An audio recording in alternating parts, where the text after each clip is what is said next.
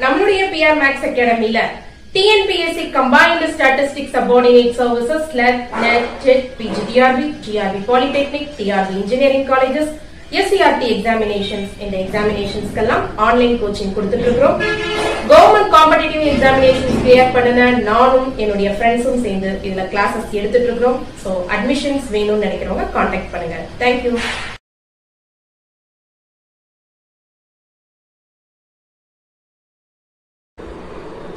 Hello everyone. TNPSC Combined Statistical Subordinate Services Assistant Statistical Investigator Examinations prepare பண்ணிட்டு இருக்கிற mathematics and statistics both major ஸ்டூடெண்ட்ஸ்க்கும் online coaching கொடுத்துட்டு இருக்கிறோம் நம்முடைய PR maths அகாடமியில admissions வேணும்னு நினைக்கிறவங்க contact பண்ணுங்க. ஃபீஸ் ரொம்ப ரீசனபிளான ஃபீஸ் தான். இன்னைக்கு பேஸ் தியரம்ல இருந்து ஒரு ப்ராப்ளம் பார்க்கலாம். இது both statistics and mathematics major ரெண்டு பேருக்குமே இந்த கண்டென்ட் இருக்கு. ஏன்னா மேத்தமெட்டிக்ஸ் மேஜர்லயுமே ஒரு யூனிட்ல உங்களுக்கு ஸ்டாட்டிஸ்டிக்ஸ் சிலபஸ்ல வச்சிருக்காங்க ஸோ இன்னைக்கு இந்த ப்ராப்ளம் டிஸ்கஸ் பண்ணலாம். The, co- the contents of bags 1, 2 and 3 are as follows. First bag பொறுத்த வரைக்கும் உங்களுக்கு one white, two blue and three red balls இருக்கு. இது பேக் ஒன்ல இதே செகண்ட் பேக் பாத்தீங்கன்னா two white one blue one red இப்படி பால்ஸ் இருக்கு அண்ட் தேர்ட் பேக்ல பேக் த்ரீல four white five blue three red balls இருக்கு இது பேக் த்ரீல one bag is chosen at random and two balls drawn they happen to be white and red what is the probability that they come from bag 1 Bayes theorem பொறுத்த வரைக்கும் அதாவது முதல்ல statement explain பண்றேன் அதுக்கப்புறம் இந்த ப்ராப்ளத்துக்கு வரலாம். ஒரு இ ஒன் இ two இஎன் சொல்லி என் ஈவெண்ட்ஸ் அந்த என் ஈவெண்ட்டுமே மியூச்சுவலி டிஸ்ஜாயின் ஈவெண்ட்ஸா இருக்கணும். அந்த ஈவெண்ட் எல்லாமே ஒரு பாசிபிள் ஈவெண்டா இருக்கணும். அதாவது P of A not equal to ஜீரோவா இருக்கணும். கண்டிப்பா வந்து அதை பத்தி நம்ம பேசும்போது அந்த ஈவெண்டோட பாசிபிலிட்டி அங்கே இருக்கணும் இம்பாசிபிள் ஈவெண்டா இருக்கக்கூடாது. அதான் probability of A not equal to ஜீரோவா இருக்கணும். ஏன்னு ஒரு ஆர்பிட்டரி ஈவெண்ட் அந்த ஏங்கிற ஈவெண்ட் வந்து வேற எங்க இருந்தும் வர ஈவெண்ட் கிடையாது. இந்த இ ஒன் இ டூ இஎன் சொல்லி ஒரு என் ஈவெண்ட்ஸ் பத்தி சொல்றேன்ல.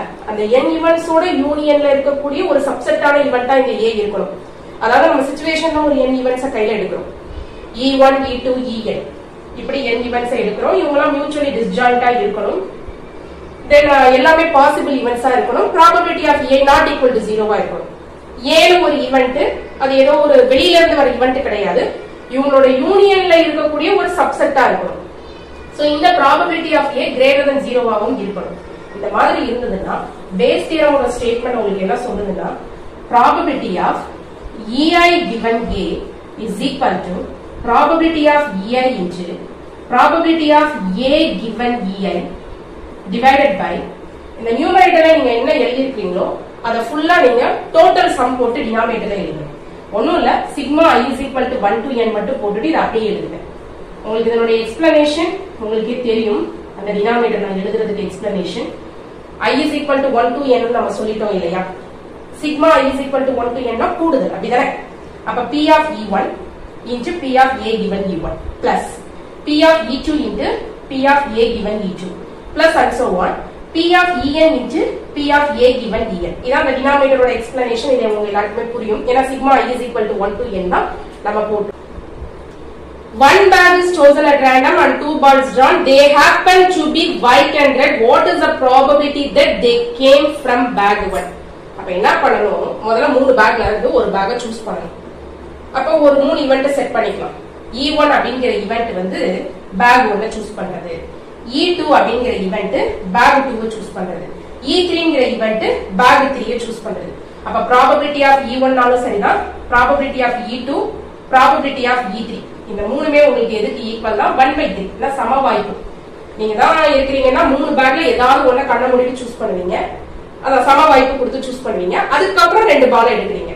ஸோ நீங்க பேக் ஒன்ன சூஸ் பண்றதுக்கும் சரி பேக் டூவை சூஸ் பண்றதுக்கும் சரி பேக் த்ரீயை சூஸ் பண்றதுக்கும் சரி ப்ராபபிலிட்டி ஒன் பை த்ரீ இப்போ பேக்கை சூஸ் பண்ணியாச்சு.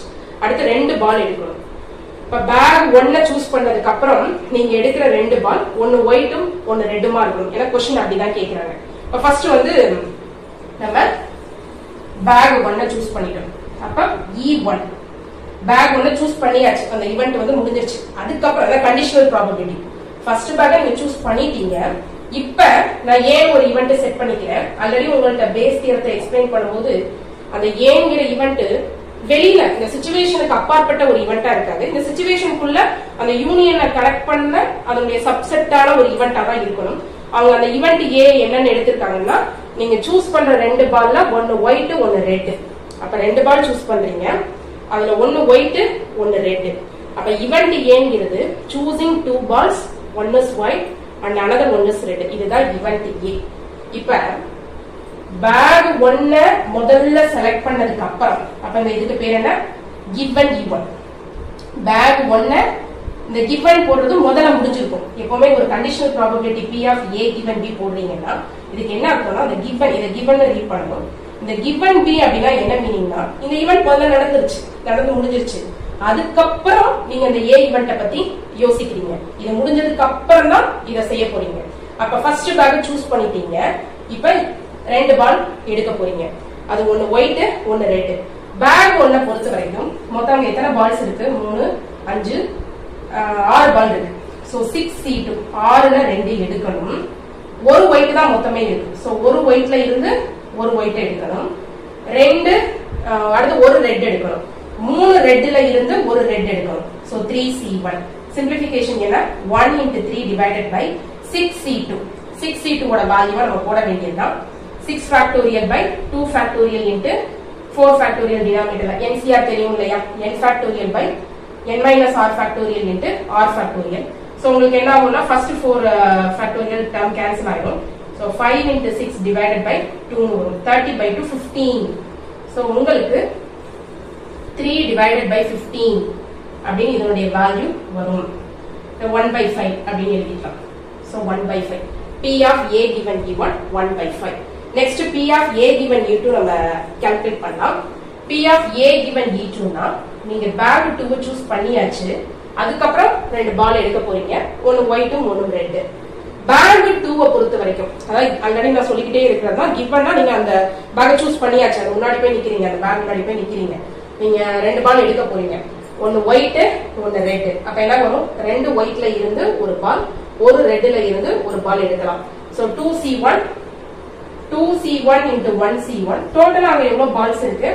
ஃபோர் பால்ஸ் இருக்கு. அதுல இருந்து ரெண்டு எடுக்கணும். So four C two two C one two one C one one four C டூவை பொறுத்த வரைக்கும் four factorial by two factorial into two factorial so இது ஒரு one into two into three into ஃபோர்னு இருக்கும். டினாமினேட்டர்ல ஒரு ஒன் இன்டு டூ ஒரு ஒன் இன்டு டூ வரும். இது கேன்சல் ஆயிரும். ஸோ இங்க ஒரு டூ இருக்கும். உங்களுக்கு டூ பை சிக்ஸ் வரும். அதாவது ஒன் பை த்ரீ அதே மாதிரி P of A given E three நீங்க தேர்ட் பேக்கை சூஸ் பண்ணிட்டீங்க. தேர்ட் பேக் முன்னாடி போய் நிக்கிறீங்க. இப்ப ரெண்டு பால் எடுக்க போறீங்க. டோட்டலா அங்க வந்து அஞ்சு மூணு எட்டு எட்டுனாலும் பன்னெண்டு பால் இருக்கு. சோ பன்னெண்டு பால்ல இருந்து ரெண்டு பால் எடுக்கணும். பால் சி டூ நாலு ஒயிட்ல இருந்து ஒரு பால் எடுக்கணும். மூணு ரெட்ல இருந்து ஒரு பால் எடுக்கணும். So four C one into three C one by twelve C two four N C ஒன்னா என் இது உங்க எல்லாருக்குமே தெரிஞ்சிருக்கும். என் சி ஒன்னா N so four C one four three C one two three twelve C two பாருங்க twelve factorial இருக்கும். So twelve factorial divided by ten factorial into two factorial first ten one into two up to ten cancel ஆயிரும். Eleven into twelve divided by two வரும் so eleven into சிக்ஸ்னு eleven into six denominator வரும். Eleven into six அது three cancel பண்ணுங்க. அடுத்து இங்க ஒரு two cancel பண்ணிருங்க டூ பை லெவன் ஸோ இந்த வேல்யூ உங்களுக்கு டூ பை லெவன் வந்திருக்கு. லெவன் வந்திருக்கு. இப்போ நம்ம தேவையான எல்லா வேல்யூஸுமே நம்ம கையில இருக்கு. பேஸ் தியரத்தை அப்ளை பண்றதுக்கு. P of A given E one இருக்கு. P of A given E two இருக்கு. P of A given E three இருக்கு. P of E one P of E two P of E three எப்பவுமே Bayes theorem ரிலேட்டடா ஒரு problem இருக்குது அப்படின்னாலே அந்த என் events நீங்க இ ஒன் இ டூ இஎன் என் இவன்ஸ் சொல்றீங்களா அது ஒவ்வொன்றுக்கும் இண்டிவிஜுவல் ப்ராபபிலிட்டி தெரிஞ்சிருக்கணும். மொத்தம் மூணு ஈவெண்ட் தான். ஏன்னா பேக் ஒன்னு சூஸ் பண்ணலாம். பேக் டூவை சூஸ் பண்ணலாம். பேக் த்ரீயை சூஸ் பண்ணலாம். அப்ப P of E one P of E two P of E three one by three அதுக்கப்புறம் பேக் ஒன்ன சூஸ் பண்ணதுக்கு அப்புறம் அவங்க கேட்டிருக்க அந்த ஈவெண்ட் ஏன் நடப்பதற்கான ப்ராபபிலிட்டி பேக் டூவை சூஸ் பண்ணதுக்கு அப்புறம் அந்த ஈவெண்ட் ஏன் நடப்பதற்கான ப்ராபபிலிட்டி பேக் த்ரீயை சூஸ் பண்ணதுக்கு அப்புறம் அந்த ஈவெண்ட் ஏவை நட நடை நடைபெறுவதற்கான ப்ராபபிலிட்டி இப்படி இந்த மூணையும் கால்குலேட் பண்ணிடும் ஆல்ரெடி ஒரு மூணு. இப்படி இந்த ஆறு ப்ராபபிலிட்டி வேல்யூ உங்க கையில இருந்துச்சுன்னா நம்ம அவங்க கேட்கிற மூணு கொஸ்டினுக்கு கூட ஆன்சர் பண்ணலாம். அதாவது நீங்க ரெண்டு பால் எடுத்தீங்கல்ல அது பேக் ஒன்ல இருந்து தான் வர்றதுக்கு என்ன ப்ராபபிலிட்டி அல்லது பேக் டூல இருந்து தான் வர்றதுக்கு ப்ராபபிலிட்டி என்ன? அல்லது பேக் த்ரீல இருந்து தான் வர்றதுக்கு ப்ராபபிலிட்டி என்ன? மூணு கொஸ்டின் கேட்டால் நம்ம ஆன்சர் பண்ணலாம். இப்போ அவங்க என்ன சொல்றாங்கன்னா ஏங்கிற இவெண்ட் பேக் ஒன்னுல இருந்து வர்றதுக்குள்ள ப்ராபபிலிட்டி என்ன? இப்போ P of E e one given A கேட்கிறாங்க இது இ டூ கிவன் ஏ கேட்டா கூட நம்ம ஆன்சர் பண்ணலாம். இ த்ரீ கிவன் ஏ கேட்டிருந்தா கூட ஆன்சர் பண்ணலாம். அதாவது பேக் ஒன் மட்டும் அல்ல பேக் டூ பேக் த்ரீ இப்படி மூணு கொஸ்டின் கேட்டிருந்தாலும் நம்ம ஆன்சர் பண்ணலாம். ஓகே பேக் ஒன் அப்படின்னு சொன்னதுனால நம்மளுக்கு என்னன்னா probability of E one given A நீங்க சூஸ் பண்ண ரெண்டு பால் ஃபர்ஸ்ட் பேக்ல இருந்து தான் வர்றதுக்கு என்ன ப்ராபபிலிட்டி சோ நம்ம பேஸ் தியரம் அப்ளை பண்ணலாம். P of E one into P of A given E one divided by அந்த டோட்டல் வரும் இல்லையா? Sigma is equal to one two three அதை நான் எழுதுறேன். P of E one into P of A given E one plus P of E two into P of A given E two plus இன்னும் ஒரு term இருக்கு. P of E three into P of A given E three இந்த எல்லா வேல்யூஸுமே நம்ம கையில இருக்குது. இப்ப வேல்யூஸ் எல்லாமே சப்ஸ்டியூட் பண்ண வேண்டியதுதான் P of E one one by three P of A given even one one by ஃபைவ்னு பார்த்தோம். டிவைடட் பை இதுலயும் ஒன் பை த்ரீ இதுலயும் ஒன் பை த்ரீ இதுலயும் ஒன் பை த்ரீ இருக்கும். அது காமனா வெளியில எடுத்துருங்க P of A given E one one by five of A A given E two ஓட value one by three P of A given E three ஓட value two by eleven இந்த one by three one by three cancel ஆயிடும். So one by five divided by இங்க five into three into லெவனை LCM எடுத்துருங்க so five into three into லெவனை LCM எடுத்தாச்சு. இங்க இடம் வரும். தேர்ட்டி த்ரீ வரும் இதுல ஃபிஃப்டி ஃபைவ் வரும். ஸோ இங்க வந்து டூ கூட ஃபிஃப்டீனை மல்டிப்ளை பண்ணணும். உங்களுக்கு தேர்ட்டி வரும். இந்த ஃபைவும் இந்த ஃபைவும் கேன்சல் ஆயிடும். ஸோ உங்களுக்கு என்ன வரும்னா